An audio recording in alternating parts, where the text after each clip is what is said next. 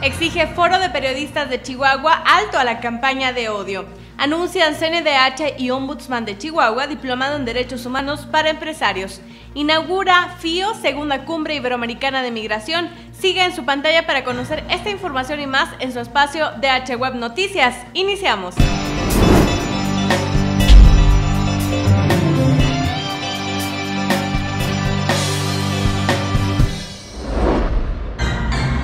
Marcela Zamudio y le comento las siguientes notas de carácter derecho humanista. Luego de que a través de redes sociales se diera a conocer un video donde policías de Aquiles Cerdán amenazan a varios comunicadores que cubrían un incidente entre vecinos derivado de un accidente automovilístico, el Foro de Periodistas de Chihuahua exigió en un comunicado que se ponga un alto definitivo a esa campaña de ataques en contra de los medios de comunicación y que se castigue a todo aquel que atente en cualquiera de sus formas contra la libertad de expresión. Los periodistas agremiados al Foro de Periodistas de Chihuahua señalaron el discurso de odio y ataque constante a los colegas de los medios desde el gobierno estatal como el causante de cualquier otro crimen o agresión física.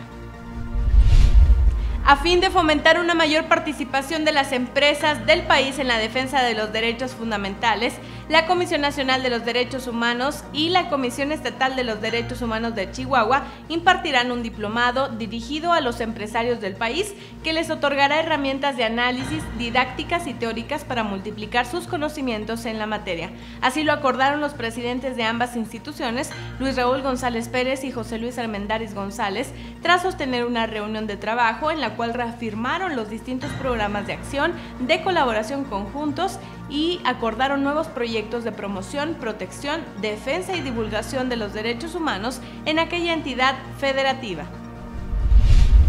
La Comisión de Derechos Humanos del Distrito Federal presentó el nuevo sitio web de métodos, revista electrónica de investigación aplicada en derechos humanos, proyecto editorial cuyo objetivo es promover el estudio y la investigación en la materia a través de aportes teóricos y metodológicos de carácter multidisciplinario, dirigida a la comunidad académica, instituciones públicas, organizaciones de la sociedad civil y cualquier persona especialista vinculada a este ámbito. Con el nuevo portal se busca mejorar la experiencia de navegación y funcionalidad para las y los usuarios. En él se pueden consultar el acervo histórico de la revista, las instrucciones para la postulación de un artículo publicable, su política editorial y la conformación de su comité editorial, entre otros aspectos.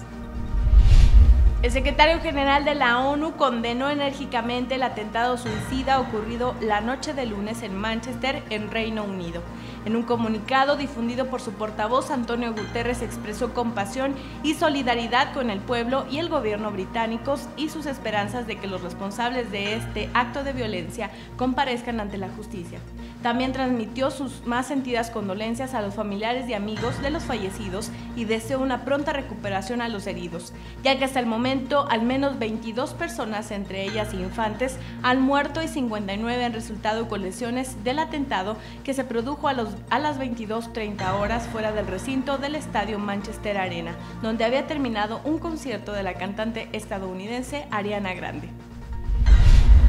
con el fin de visibilizar que la migración no es una dinámica que atañe de manera exclusiva a la jurisdicción interna de los estados, sino un problema que requiere de un abordaje holístico de derechos humanos. Esta mañana se inauguró la segunda cumbre iberoamericana Migración y Derechos Humanos, una nueva mirada, cuyo objetivo principal será establecer un plan de acción para la coordinación interinstitucional de protección de los derechos humanos en procesos migratorios. Mediante los trabajos de este encuentro se buscará adelantar las acciones para que dentro del ordenamiento jurídico de los estados nacionales se incorporen los principios internacionales de derechos humanos que no criminalicen la migración y reconozcan la trata de personas como crimen de lesa humanidad en los términos del Estatuto de Roma, así como tener en cuenta la especificidad del fenómeno migratorio de personas de los pueblos originarios y la niñez migrante sin acompañamiento en situación de vulnerabilidad.